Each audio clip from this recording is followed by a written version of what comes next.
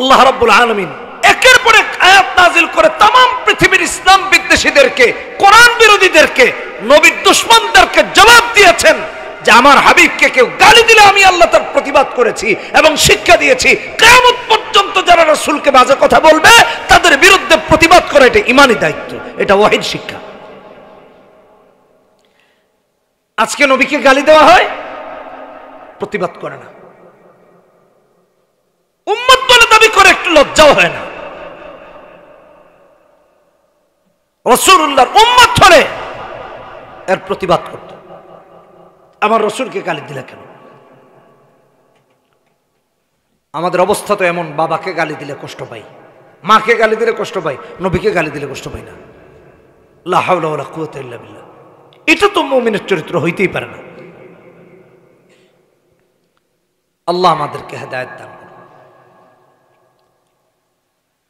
মুসলমানের জন্য আদর্শ হলেন মোহাম্মদুর রসুল্লাহ সাল্লাহ আলাইহি ওয়াসাল্লাম। গায়ক না, নায়ক না, কোনো খেলোয়াড়া না।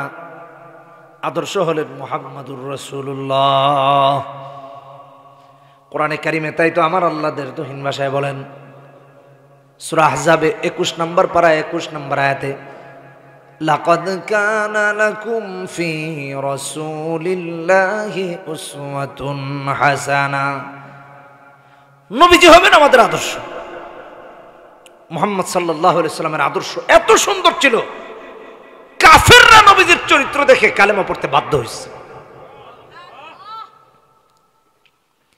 এমনও হয়েছে আমার ভাইয়েরা যেই শয়তান যেই দুশ্মন নবীজির রসুলকে হত্যা করার জন্য এসেছে, নবীজির সংস্পর্শে এসে নবীজির চরিত্র দেখে নবীজিকে কয়, মোহাম্মদ, আমার বিশ্বাস হয়ে গেছে, তুমি আল্লাহ সত্য রাসুল, এখনই কালেমা পড়ায় মুসলমান বানায় দাও। আসছে নবীকে হত্যা করার জন্য। নবীর কাছে এসে নবীজির চরিত্র দেখে কালেমা পড়তে বাধ্য হয়েছে হ্যাঁ তিনিই আমাদের রসুল। পৃথিবীতে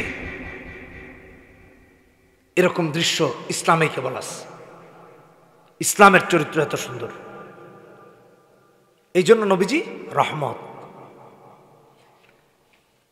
আমার আল্লাহ তাই তো কোরআনে বলেন, সুরা আম্বিয়াতে সতেরো নম্বর পারাতে হিফজুল কোরআনে দশ নম্বর পৃষ্ঠা একশো সাত নম্বর আয়াতে ওয়ামা أرسلناك إلا رحمة للعالمين গোটা বিশ্ব জগতের জন্য তিনি হলেন রহমত সুবহানাল্লাহ হামদি যে মানুষ যে পরিবার যে সমাজ যে রাষ্ট্র যে রাজনৈতিক দল রসুলের চরিত্র ধারণ করবে আল্লাহর রহমত দিয়ে তার দলটা ভরপুর হয়ে যাবে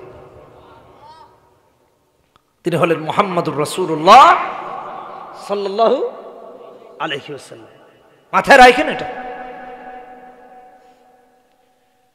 একটি কিতাব আছে আল মাগাজিল ইমাম মুসা ইবনে উকবা এই কিতাবে এসেছে। ছেচল্লিশ নম্বর পৃষ্ঠায়, প্রথম খণ্ডে। বদরের যুদ্ধ হয়েছে। সত্তর জন কাফের বন্দি মুসলমানের কাছে। সত্তর জন জাহান্নামি হয়েছে, মারা গেছে। মোশেকরা দিশেহারা। প্রতিশোধের আগুন তাদের শরীরে ধাও ধাও করে জ্বলতেছে।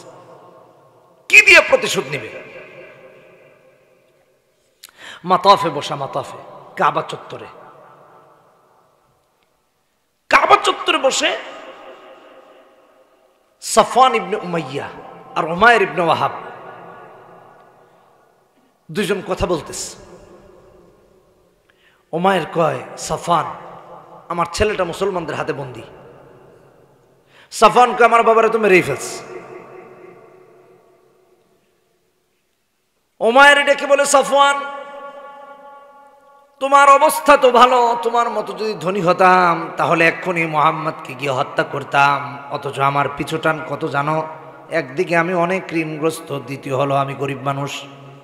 এত টাকা পয়সা আমার নাই যে ফ্যামিলি পরিচালনা হবে। ওমায়ের ডেকে বলে সাফান যদি আমার ঋণ পরিশোধের জিম্মাদারি কেউ নেই অথবা আমার পরিবার পরিজনকে দেখাশোনার দায়িত্ব যদি কেউ নেই দুইটা দায়িত্ব নিলে মোহাম্মদুর রসুল্লাহকে আমি গিয়ে হত্যা করব না আউজুবিল্লা সফওয়ান ইবনে উমাইয়া ভাবল, এই সুযোগটা হাত ছাড়া করা যাবে না। ঠিক আছে, যাও, মায়ের মোহাম্মদকে হত্যা করো। তোমার পরিশোধ ঋণ আমি করব, তোমার ঋণ পরিশোধ আমি করব। তোমার পরিবার পরিজনকেও দেখাশোনার দায়িত্ব আমার, টেনশন নিও না। একটা উন্মুক্ত তরবারি বিষ মিশিয়ে এনে দিয়ে বলছে, যাও মোহাম্মদকে হত্যা করে আসো। ও মায়ের মক্কা থেকে মদিনায় রওনা করেছে। সাড়ে চারশত কিলোমিটার কম বেশি রাস্তা মক্কা থেকে মদিনায় গিয়ে হাজির মসজিদে নবীতে ঢুকে গেছে, নবীজিকে হত্যা করবে। মোহাম্মদ কোথায় মোহাম্মদ কোথায় মোহাম্মদ কোথায় বলে বলে যখন আগায় হজরত ওমর দূর থেকে দেখেছেন। হজরত ওমর দূর থেকে দেখে বললেন, হে আল্লাহর দুশ্মন, দাঁড়া। তুই তো রসুলকে হত্যা করার জন্য যাচ্ছিস সে তো রসুলকে হত্যা করবে। তাকে প্রতিহত করার জন্য, প্রতিরোধ করার জন্য আগায় আসলেন। ভাইরা, আমার বন্ধুরা, আমার বিশ্ব নবীর আহমতুল্লিল আলামিন দূর থেকে যখন এই দৃশ্য দেখলেন, ওমরকে বললেন, ওমর, কিছুই বলো না। ওমায়েরকে আমি মোহাম্মদের কাছে নির্বিঘ্নে আসতে দাও। বোঝার বিষয় হলো, আমার ভাইরা, নবীজি কখন এই নির্দেশ দিয়েছেন? নবীজি জানতেন, উমায়ের নবীকে হত্যা করার জন্য যায়। ওই যে মাতাফে কাবা চত্বরে বসে বসে যখন নবীকে হত্যার জন্য ওরা ষড়যন্ত্র করে, আমার আল্লাহ জিবরিলকে দিয়ে নবীজিকে জানায় দিয়েছেন যে, অগ নবীজি, আপনাকে হত্যা করার জন্য উমায়ের মক্কা থেকে মদিনায় যায়। কেমন রহমাতুল্লিল আলমিন একটু দেখেন। ধরুন দুনিয়ার বুকে কেউ যদি এমন হয় গিয়ে কাউকে আঘাত করবে, সে হয়তোবা তাকে প্রতিহত করবে, নয়তোবা সে আত্মরক্ষা করবে দুটার একটা। আর নবীজি জানেন যে এই দুশ্মন নবীকে হত্যা করার জন্য আসে।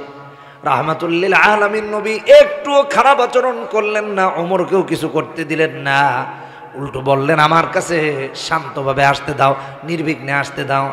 মোহাম্মদ রসুল্লাহর কাছে আসলো। মোহাম্মদ রসুল্লাহ এক নাম্বার জিজ্ঞেস করলেন, ওমায়ের বলো তো দেখি কি কারণে মক্কা থেকে মদিনায় এসেছ? ওমায়ের কয়ে, মোহাম্মদ, এসেছি আমার সন্তানটা তোমাদের হাতে বন্দি, সন্তানকে ছোটাইতে এসেছি।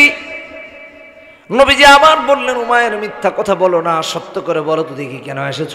উমায়ের কয়, মোহাম্মদ, সন্তানটাকে মুক্তিপণ দিয়ে ছোটায় নিতে এসেছি। নবীজি আবার জিজ্ঞেস করলেন, উমায়ের সত্য করে বলো কেন এসেছ? উমায়ের কয়, মোহাম্মদ আর কোনো উদ্দেশ্য নাই। মুক্তিপণ দিয়ে সন্তানকে ছোটায় নেওয়ার জন্য এসেছি। নবীজি ডেকে বলেন, উমায়ের আচ্ছা বলো তো দেখি, কেউ যদি যুদ্ধবন্দী সন্তানকে মুক্তিপণ দিয়ে ছোটায় নিতে আসে, তাহলে কি গলায় উন্মুক্ত তরবারি ঝুলে আসে নাকি? বরং স্বর্ণরূপা ঝুলে আসতো। যে এগুলা নিয়ে আমার বাচ্চাটাকে মুক্তি দিয়া দাও। মোহাম্মদুর রসুল্লাহ ডেকে বলেন, ওমায়ের রে মিথ্যা কথা বলো না। সত্য করে বলো তো দেখি, তুমি আর সফান দুজন মিলে মাতফে বসে বসে আমাকে হত্যার ষড়যন্ত্র করো নাই নাকি? শুধু তাই না, তোমার ঋণ পরিশোধের জিম্মাদারি নিয়েছে সফান তোমার পরিবার পরিজনকে দেখাশোনা করার দায়িত্ব নিয়েছে সাফান এই জন্য তুমি আমাকে হত্যা করতে এসেছ। মোহাম্মদুর রসুল্লাহ যখন এই কথা বললেন ওমায়ের মাথা অস্থির হয়ে গেছে। কারণ হলো মাথাফে বসে বসে যখন তারা নবীকে হত্যার ষড়যন্ত্র করে, ওইখানে তৃতীয়ত কেউ ছিল না, কি করে মোহাম্মদুর রসুল্লাহ জানেন? ওমায়ের বোঝার বাকি নাই।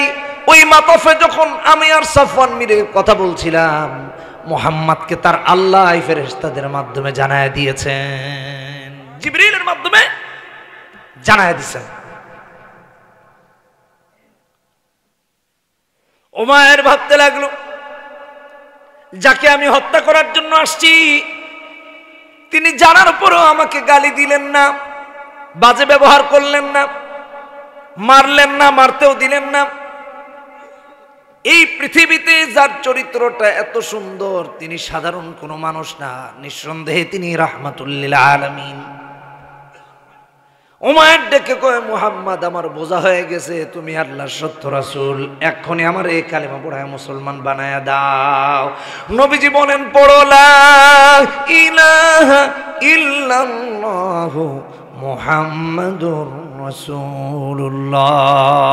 সাল্লাল্লাহু এসেছিল নবীকে হত্যা করার জন্য কালেমা পড়ে মুসলমান হয়ে গেছে। এটাই রহমতের চরিত্র। তিনি আমাদের নবীজি সুবহানাল্লাহ সুবহানাল্লাহ জোরে বলেন সুবহানাল্লাহ। ভাইয়ের, আমার এই নবীজির কথা বলতে গিয়ে আমার আল্লাহ বলেন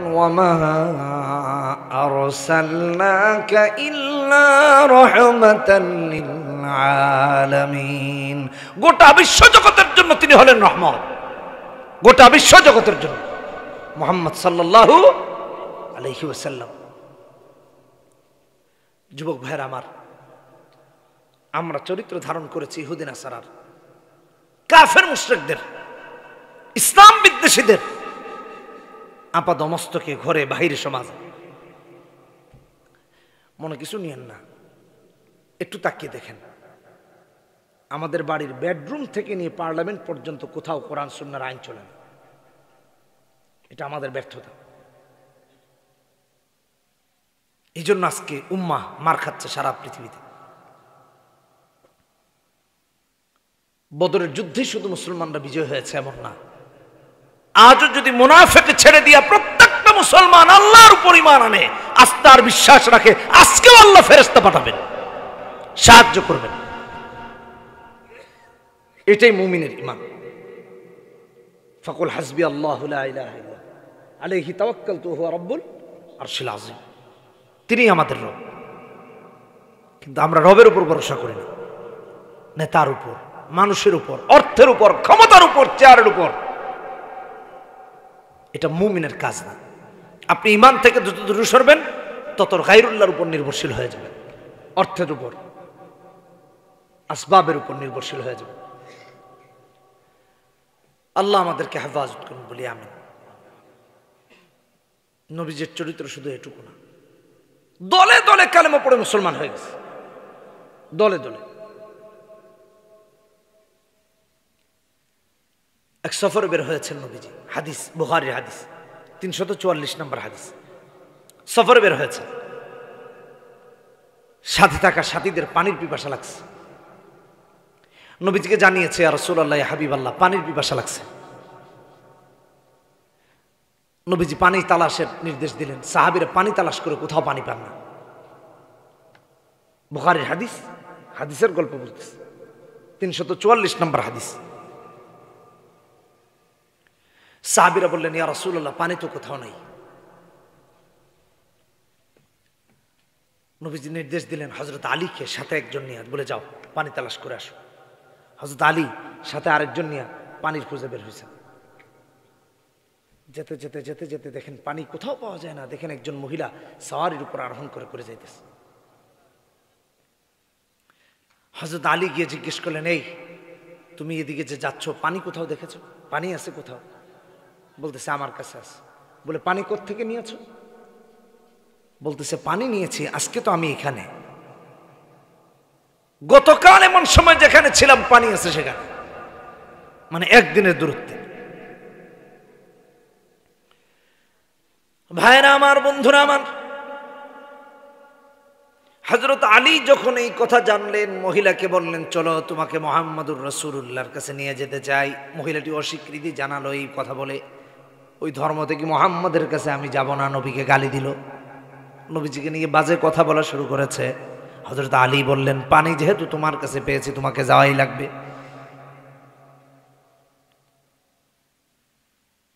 মোহাম্মদুর রসুল্লাহর কাছে তারা নিয়ে যাওয়া হলো। যাওয়ার আগে এসে শেষবার বলেছে, দেখো, আমার বাচ্চাগুলো এতিম, আমাকে যদি নিয়ে যাও, আর মোহাম্মদ যদি আমার মেরে ফেলে, তাহলে আমার বাচ্চাগুলো বিপদে পড়ে যাবে। ও ভাবতেছে, মহিলাটা ভাবতেছে, নবীজির কাছে নিলে বুঝি তারা মেরে ফেলা হবে। আর হজরত আলী জানেন যে নবীজি কখনো এমন কাজ করবেন না। মহিলাকে নিয়ে গেলেন জোর করে। মহিলা যাওয়ার পর নবীজি বললেন, পানি আছে নাকি? বলে হ্যাঁ আছে। বলে, তোমার পানির পাত্রটা দাও। পানির পাত্র যখন দেওয়া হলো, নবীজি নির্দেশ দিলেন, সাহাবিদেরকে বলে, তোমরা সবাই পানি পান করো, একে একে সবাই পানি পান করলেন। কিন্তু মহিলার পাত্র থেকে এত পানি পান করা হলো, পানি শেষ হলো না। প্রত্যেকের যখন পানি পান শেষ হয়ে যায়, নবীজি আবার নির্দেশ দিলেন, সাহাবিরা আমার, তোমাদের যার কাছে ছোট বড় যেসব পাত্র আছে, প্রত্যেকের পাত্রগুলো পানি দিয়ে ভরে ভরে রেখে দাও। প্রত্যেক সাহাবিরা নিজেদের পাত্রগুলো পানি দিয়ে পুরোপুরি রেখে দিয়েছেন। পানি পান করা শেষ হয়ে গেল, পানি রেখে দেওয়া শেষ হয়ে গেল। মহিলাটির কাছে যখন পানির পাত্র ফিরিয়ে দেওয়া হলো, নবীজি মহিলাকে জিজ্ঞেস করেন আচ্ছা দেখো তো দেখি, তোমার পানির পাত্রে পানি ঠিক আছে কিনা? মহিলা তাকিয়ে দেখে, আগে যেটুক পানি ছিল, বর্তমানে তার চেয়ে আর একটু বেশি আছে। মহিলা আশ্চর্যান্বিত হয়ে গেল বলে, এগুলা কি দেখলাম? মহিলা ভাবতেছে ইনি যদি কোনো বড় জাদুঘর না হন, এত সুন্দর, এটা কি করে হলো? আমার মাথায় তো আসে না। নবীজিকে জাদুঘর ভাবছে। ভাইরা আমার যখন মহিলা বিদায় নিয়ে চলে যাবে বিশ্বনবী রহমতুল্লিল আলমিন সাহাবিদেরকে ডেকে বলেন, সাহাবিরা রে আমার, তোমাদের যার কাছে হাদিয়া দেওয়ার মতো যা আছে জমা করো। সাহাবিরা হাদিয়া জমা করা শুরু করলেন গাঠটি হয়ে গেল। সাওয়ারির উপরে গাঠটিটা উঠায়া দিলেন হাদিয়ার। মহিলা যায় আর চিন্তা করে যে মানুষটাকে গালি দিলাম, বাজে কথা বললাম, আসার আগে দোহাই দিলাম, এতিম বাচ্চাগুলো বিপদে পড়ে যাবে, সেই মানুষটার চরিত্র এত সুন্দর। সুহান এক নাম্বার তার মর্যাদা দেখে আশ্চর্য হয়ে গেছে। দুই নাম্বার, সমস্ত সাহাবিদের পাত্রগুলো ভরে ভরে রেখে দেওয়া হলো, দেখে আশ্চর্য হয়ে গেছে। তিন নাম্বার, যার কাছে আসবে না, মারা যাবে বলে, তাকে মেরে ফেলা হবে বলে। সেই মোহাম্মদুর রসুল্লাহ এত সুন্দর আচরণ তার সাথে করলেন। মহিলাটি আশ্চর্যান্বিত হয়ে গেল, যায় আর ভাবে, যার চরিত্রটা এত সুন্দর, আর যার এত এত অলৌকিক ঘটনা দেখলাম হয়তোবা তিনি পৃথিবীর বড় কোনো জাদুঘর, অন্যথায় তিনি কোনো আল্লাহ রসুল, নিঃসন্দেহে রসুল ছাড়া এত সুন্দর চরিত্র কারও হয় না। আমার ভাইয়েরা, মহিলাটি যখন আবার গেল তারপর যখন ধরেছে, কাফেলার লোকেরা যারা পিছনে ছিল, তারা যখন সামনে গেল, গিয়ে মহিলা কি যখন দেখল, দেখে বলে, কি ব্যাপার? তুমি না আমাদের আগে ছিলে, এত পিছনে পড়লা কি করে? মহিলাকে জানো, ওই যে মোহাম্মদ, যাকে আমরা ধর্ম থেকে বলি, এটা বলি, সেটা বলি, দুজন লোক এসে আমারে ধরে নিয়ে গেছে। আমার পাত্র থেকে সবাই মিলে পানি পান করল একটু পানি কমলো না, শুধু তাই না। প্রত্যেকের কাছে থাকা ছোট বড় পাত্রগুলো ভরে ভরে রেখে দিয়েছে, তারপরেও পানি কমে নাই। শুধু তাই না, যার কাছে যাওয়ার আগে আমি বলেছিলাম, মুহাম্মদ আমাকে মেরে ফেলবে, আমার বাচ্চাগুলা হুমকির মুখে পড়ে যাবে, আমাকে নিও না। ফিরে আসার সময় তিনি হাতিয়ার গাঠটি আমাকে ধরাই দিচ্ছেন মহিলাটি দেখে বলে, দেখো, আমার বিশ্বাস, যার চরিত্রটা এত সুন্দর, তিনি হয়তো বা বড় কোনো জাদুঘর, অন্যথায় তিনি আল্লাহর সত্য রাসুল। লোকেরা আমাদেরকেও নিয়ে মোহাম্মদের কাছে চলো। মোহাম্মদ রসুল্লাহর কাছে সবাইকে নিয়ে আসা হলো। সবাই রসুল্লাহর সাথে যখন থেকে সময় দেওয়া আরম্ভ করল রসুল্লাহর চরিত্র দেখা আরম্ভ করল, এক পর্যায়ে কয়ে, মোহাম্মদ, আমাদের বিশ্বাস হয়ে গেছে, তুমি আল্লাহ সত্য রসুল। কালেমা পড়ায় মুসলমান বানায় দাও। নবীজি বলেন পড়লা ইলাহা ইল্লাল্লাহু মুহাম্মাদুর রাসূলুল্লাহ সাল্লাল্লাহু আলাইহি ওয়াসাল্লাম। যারা গালি দিয়েছে, নবীজি তাদেরকে গালি দেন নাই। যারা নবীর উপর নির্যাতন করেছেন, রসুল তাদের সাথে নির্যাতন করেন নাই। হ্যাঁ এটাই ইসলাম। এটাই মুসলমানের চরিত্র। এটাই মুমিনের চরিত্র। এই জন্য আমার ভাইয়েরা, আল্লাহ রব্বুল কোরআনে কারিমের মাঝে 80 নম্বর আয়াতে সূরা নিসাতে বলেন মাইয়ুতি'র রাসূল ফাকাদ আতা আল্লাহ। ومن تولى فما أرسلناك عليهم حفيظا আল্লাহ কয় যে আমার রসুলের তাওয়াত করলো সেজন্য স্বয়ং আমি আল্লাহকে অনুসরণ করব আর আমরা অনুসরণ করতেছি কাফের মুশরিকদেরকে ইহুদিন আসারাদেরকে যারা ইসলামকে নিশ্চিন্ন করে দিতে চায় তাদেরকে আমরা অনুসরণ করতেছি ভাইরা আমার মুমিন কখনো এটা করতে পারে না এই জন্য নিজের জীবনের চেয়ে বেশি নবীকে ভালোবাসালাম সব কিছুর থেকে বেশি নবীকে ভালোবাসালাম যদি মুসলমান হই। রসুল্লাহ সাল্লাহ আলহিউসাল্লামের হাদিস, বুখারির হাদিস, চোদ্দ নম্বর হাদিস। নবীজি বলছেন, লা ইউমিনু আহাদুকুম হাত্তা আকুনা আহাব্বা ইলাইহি মিন ওয়ালিদিহি ওয়া ওয়ালাদিহি ওয়ান নাসি আজমাইন। বাবা মা, সন্তান সন্ততি। শুধু এখানে শেষ না তাম পৃথিবীর সব থেকে বেশি নবীকে ভালোবাসালাম। একটু চিন্তা করে দেখি তো, এটুক ভালোবাসা আমাদের মাঝে আছে কিনা? সত্যিকার অর্থে নাই।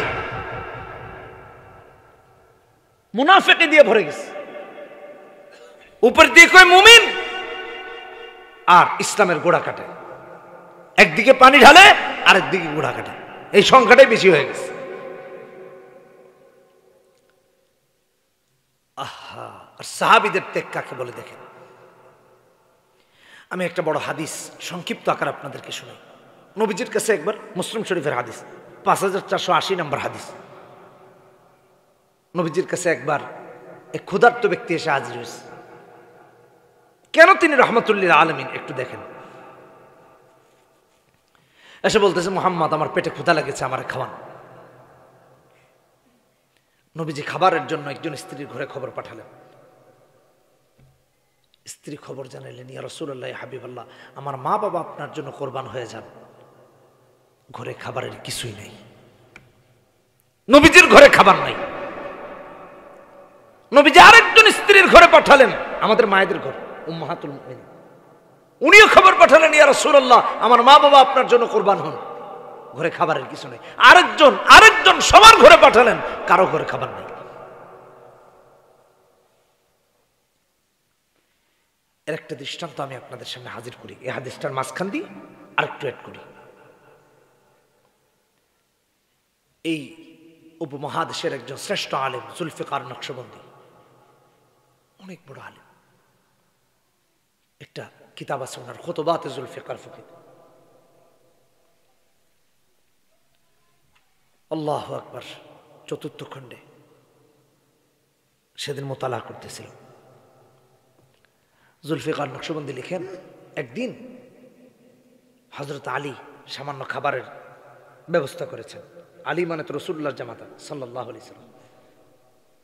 হজরত ফাতেমা রদি আল্লাহ তালা আনহার স্বামী। হজরত হাসান আর হুসাইনের বাবা।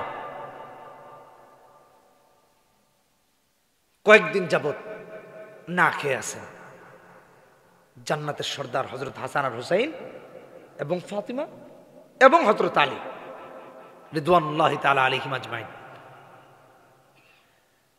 কয়েকদিন না খেয়ে থাকার পর হজরত আলী সামান্য খাবার জুগিয়েছেন। তো খাবারগুলো যখন আনা হলো, রুটি বানানো হয়েছে, চারটা রুটি, একটা হজরত হাসানের জন্য, একটা হুসাইনের জন্য, একটা আলীর জন্য, একটা ফাতেমার জন্য। রিদওয়ানুল্লাহ তালা আলী হিমাজমাইন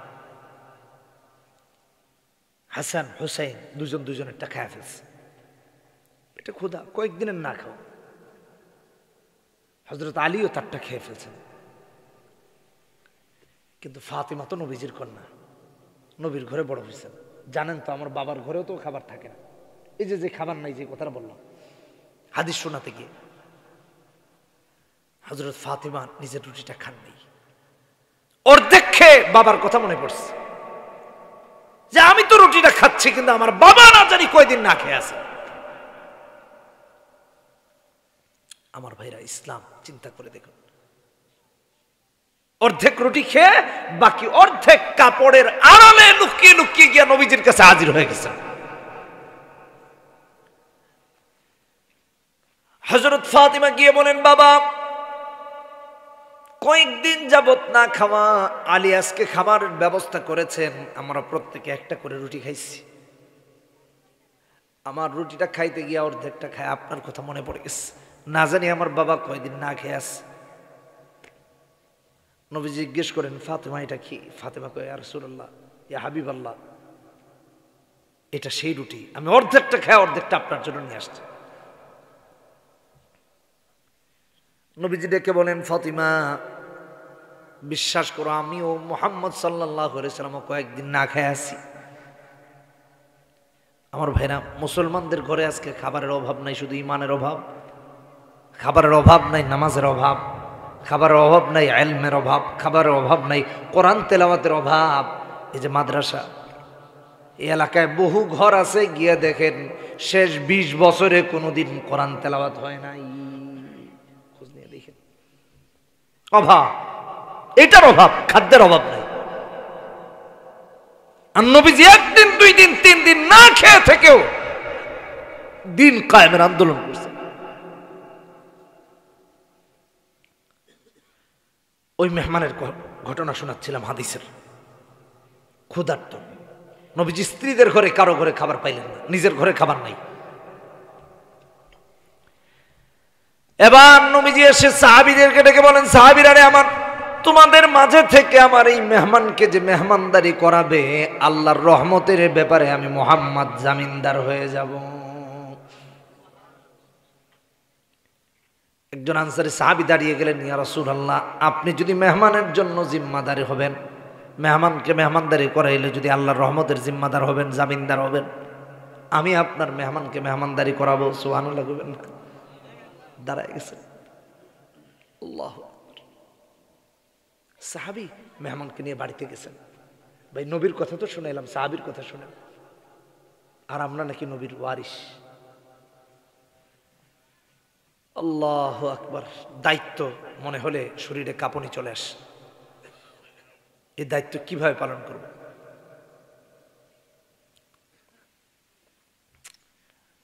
বের হয়ে গেছে। মেহমানকে নিয়ে বাড়িতে যেতেছে মেহমানদারি করাবে। মেহমানকে নিয়ে সাহাবি বাড়িতে গেছেন। বাড়িতে গিয়ে স্ত্রীকে ডেকে বললেন, স্ত্রী আমার, একজন মেহমান নিয়ে এসেছে, তাকে মেহমানদারি করান লাগবে। স্ত্রীটাকে বলে, স্বামী আমার, মেহমান নিয়ে এসেছেন, ভালো কথা, খাবার তো কিছুই নেই। বাচ্চাগুলো সকাল থেকে কান্না করতেছে, বিছানায় শুয়ে শুয়ে। ক্ষুধার তো ক্ষুধায় কাটতেছে স্বামী আমার এক পর্যায়ে বাচ্চাদের কান্না যখন সহ্য হচ্ছিল না, আমি নিজে বের হয়ে গিয়েছিলাম খাবার অনুসন্ধান করার জন্য সন্ধানে। সামান্য খাবার নিয়ে এসেছি বাচ্চাদের জন্য, সারাদিন কষ্ট করে। আপনি মেহমান নিয়ে এসেছেন? সাহাবিটাকে বলে, স্ত্রী আমার, ইনি সাধারণ কোনো মেহমান না, নবীজির মেহমান। নবীজি যার ব্যাপারে বলেছেন, আমার এই মেহমানকে যে মেহমানদারি করাবে, আল্লাহর রহমতের ব্যাপারে আমি মোহাম্মদ জামিনদার হয়ে যাব। স্ত্রীটাকে বলে, স্বামী আমার, তাইলে তো ইনি বড় দামি মেহমান। এই মেহমানের তো মেহমানদারি করানোই লাগে। স্ত্রীটাকে কয়, স্বামী, মেহমানকে আসেন, মেহমানদারি করাই, বাচ্চাগুলো নাইলে না খাইলে অসুবিধা নাই। আল্লাহু আকবার! নবীজির প্রেম কাকে বলে একটু চিন্তা করে দেখেন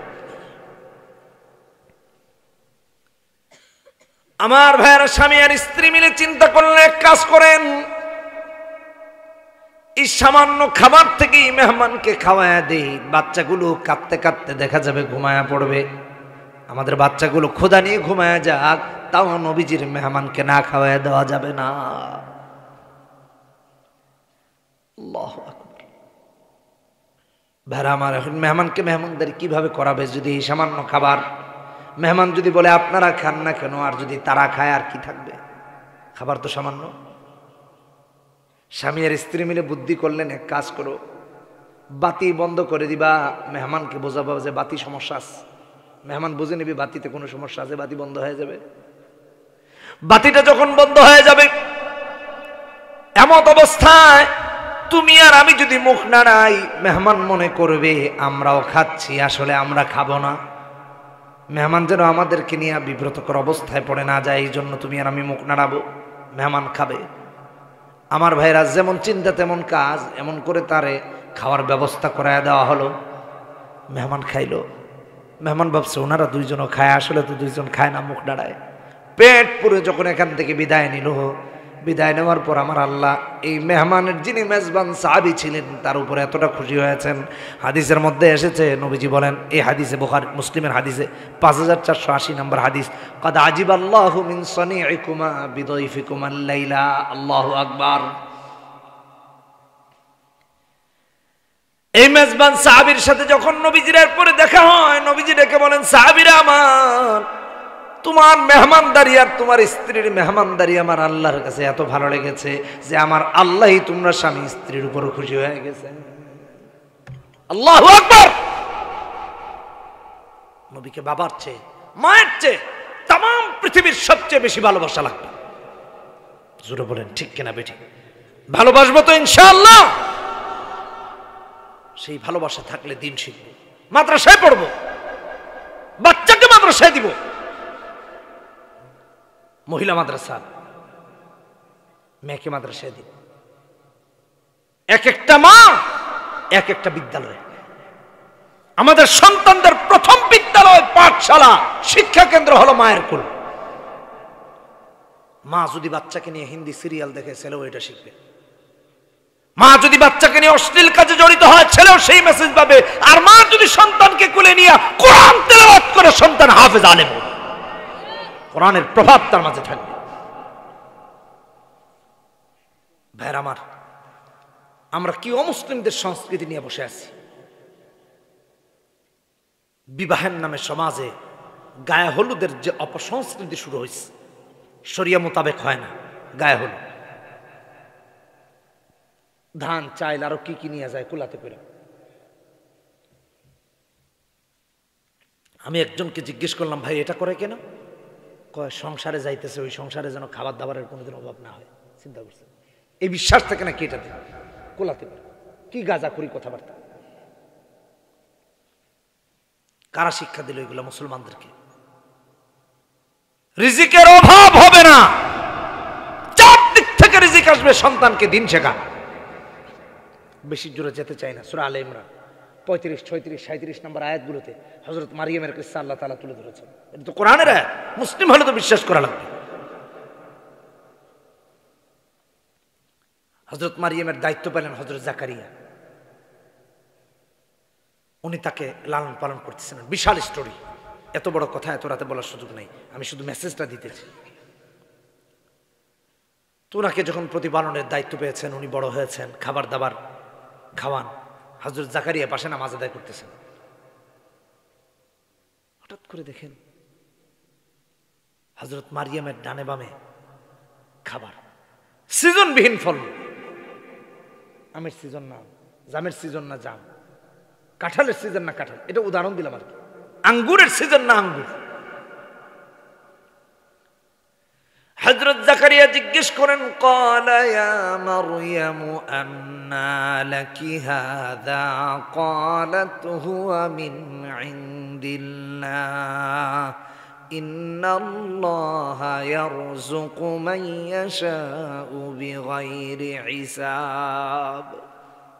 সারা বিশ্ববাসীর জন্য মেসেজ দিয়ে দিচ্ছেন হজরত মারিয়ামের মা যখন তারে বাইতুল মুকাদ্দাসের জন্য উৎসর্গ করছেন, মূলত বাইতুল মুকাদ্দাস না, আল্লাহর রাস্তায়।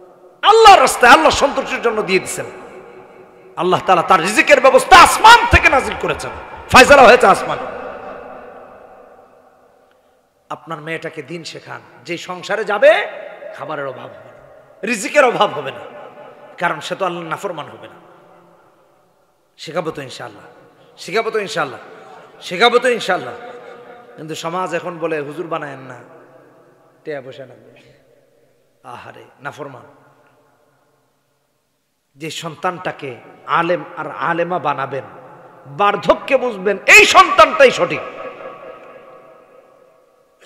গত দু তিন দিন আগের একটা ভিডিও দেখেছেন কিনা আপনারা ফেসবুকে? ওই যে বৃদ্ধাশ্রম থেকে ফোন করছে। কেউ না কেউ দেখছেন, অথবা দেখেন নাই, ভাইরাল হয়েছে। বাবা বৃদ্ধাশ্রমে মৃত্যুর মুখোমুখি। বৃদ্ধাশ্রম থেকে ফোন দিয়ে বলতেছে, রাকিব নামে একজনকে, যে আপনার বাবা তো মারা যাবেন। ডাক্তার বলছে শেষ। তা আপনারা কি লাশটা নিবেন না? কয়, না। আপনাদের ওখানে মারা গেলে আপনারা দাফন করবেন। বাকি আমি আসব। চিন্তা করে দেখেন। তো ওই পারের ভদ্রলোক এক পর্যায়ে বলতেছে, ভাই, আমরা তো রাখলাম আপনার বাবাকে দীর্ঘদিন। আপনারা তো ফেরেই চলে গেছিলেন রাস্তায়। বেচারা রাগ হয়ে কথা বলতেছে। যে সন্তানের জন্য অবৈধ উপার্জন করছেন হালাল হারাম, বাদ বিচার করতেছেন না। দিন শেখান না এই সন্তান রাস্তায় ফেলে দিয়ে চলে যাবে। বিশ্বাস করুন। কিন্তু আমার ভাইয়েরা, কোটিপতি সন্তান, লাখপতি সন্তান রাস্তায় ফেলে দিয়ে চলে গেল কোনো হাফেজ আলেম দেখবেন রাস্তায় ফেলে দেয় না। কারণ কোরআন আমাদেরকে শিখাইছে যে বাবা মা আপনাকে আমাকে জন্ম দিয়েছেন, জন্মধারিণী মা আর জন্মদাতা বাবা। তাদের মর্যাদা এত বেশি, আল্লাহ কোরআনে কারিমে বলেছেন, আল্লাহর হকের উপরেই তাদের হক। এই জন্য আমার আল্লাহ এবং রসুল এই শিক্ষা দিয়েছেন যে আল্লাহকে খুশি করতে হলে মা বাবাকে খুশি করা লাগবে, জান্নাত পেতে হলে মা বাবার সন্তুষ্টি লাগবে। যার বাবা মা অসন্তুষ্ট, তার জন্য আল্লাহর জান্নাত হারাম হয়ে যায়। ঠিক কিনা বেঠি? এই জন্য সন্তানকে দিন শেখাবো তো ইনশাল্লাহ শেখাবো তো ইনশাল্লাহ মাদ্রাসায় পড়াবো তো ইনশাল্লাহ রাজি আছি না? আল্লাহ আমাদেরকে তৌফিক দান করুন। জোরে বলি আমিন। আরও জোরে বলি আমিন। আজকে তো দেরি হয়ে গেছে, কুয়াশা টুয়াশা। আর আমি তো এখানের অতিথি না। বাকি আল্লাহ তালার দিনের দাওয়াত তো আর সব জায়গায় দেওয়া যায়। ছোট ভাই, এই যে খলিল, কটালপুরের। খলিল জোর করে যে এখানে আপনার যাওয়া লাগবে। তা আমি আমার মাহফিল শেষ করে এই ছোট ভাইয়ের অনুরোধে আমি বললাম, এত রাতে রাত দুটো বেজে গেছে, দেখছেন? তা আমি বললাম, এত রাতে কষ্ট করবে, বলে না, অসুবিধা নাই, বরকতের জন্য যে কয়জন থাকে, সমস্যা নেই। রাস্তায় আরও কুয়াশা, প্রচুর কুয়াশা, দুই হাত, তিন হাত দূরে দেখা যায় তা আমি তারা খুব রিকোয়েস্ট করছি, রে ভাই, আমার মাফ কর। কই, না, যাওয়াই লাগবে সে নিজে গিয়ে হুমায়ুন চত্বর গিয়ে দাঁড়ায় গাড়ি নিয়ে, চিন্তা করছে ফাঁকি দেওয়ার কোনো উপায় আছে? তো যাই হোক, আল্লাহ এনেছেন কোরআন হাদিস থেকে আমরা দু চারটা কথা শুনছি। আল্লাহ তালা আমাদেরকে কবুল করুক। মূলত দোয়ার জন্য আসা, মুসাফির মানুষ। এই কথা বলতেছিল যে আপনি একটু দোয়া করবেন। তো আল্লাহ তালা এই মাদ্রাসাকে কবুল করুন। মাদ্রাসার মোহতামিম সাহেব ইয়াং মানুষ, আল্লাহ তালা কবুল করুন যুবকরা দিনের দায়িত্ব নিলে ইনশাল্লাহ কাজ আগায়। যুবকদের গতি আর বৃদ্ধদের, বৃদ্ধাদের গতি এক না। এটা সবসময় মাথায় রেখেন যে সমাজের যুবকরা ঠিক হয়ে যায়, এই সমাজ অটোমেটিক ঠিক হয়ে যায়। আর যে সমাজের যুবকরা টিকটকার হয়, সমাজ শেষ। কি কোন ঠিক কিনা বেঠিক? আল্লাহ তালা মোহতামিন সাহেবকে কবুল করুন মাদ্রাসার ছাত্রীদেরকে আল্লাহ কবুল করুন মসজিদ, মাদ্রাসা দিনের দুর্গ। কেয়ামত পর্যন্ত আল্লাহ তালা এগুলাকে সংরক্ষণ রাখার তফিক দান করুন। যারা কাছের দূরের যে যেখান থেকে সাহায্য করেছে, আল্লাহ তালা তাদেরকে কবুল করুন। এই সাহায্যের খবর মদিনায় পৌঁছায় দিয়ে আল্লাহ তাদেরকে বারবার মক্কা মদিনা জিয়ারত করার তৌফিক যেন দান করেন, আমিন। হালাল কামাই রুজিতে বরকত দান করেন, আমিন। লন্ডন থেকে অনেকেই দোয়া চেয়েছেন, আমাদের জিল্লুর ভাই লন্ডনে বারবার দোয়া চেয়েছেন, অসুস্থ, হসপিটালে ভর্তি সম্ভবত। উনি ওনার ফ্যামিলির জন্য দোয়া চেয়েছেন। আল্লাহ তালা যেন তার শিফায় কামেলা, আজেলা দায় নসিব করেন বলে, আমিন। এলাকা থেকে যারা কবরবাসী হয়ে গেছে